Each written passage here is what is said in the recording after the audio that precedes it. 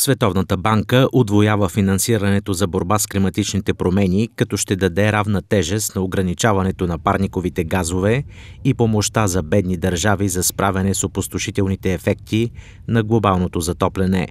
Банката и две нейни сестрински организации ще отпуснат 200 милиарда долара в периода 2021-2025 година с акцент върху подкрепата за адаптиране към по-високите температури, екстремното време и повишаването на нивото на световните океани. Обявихме 200 милиарда долара за финансиране на борбата с климатичните промени, от които 100 милиарда ще бъдат от публичния сектор. Това, което е много важно е, че половината пари ще бъдат предназначени за адаптация към измененията в климата. За пръв път поставяме на равна основа приспособяването и смягчаването на въздействието.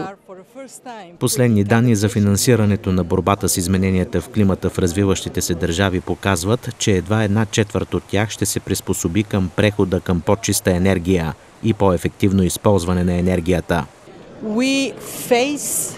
Като глобална общност сме изправени пред неизбежната задача да бъдем по-устойчиви на климатичните промени навсякъде, но особено в по-бедните части на света. Виждам повече смисъл да направя нещо, отколкото да се чудя защо до сега не е било направено.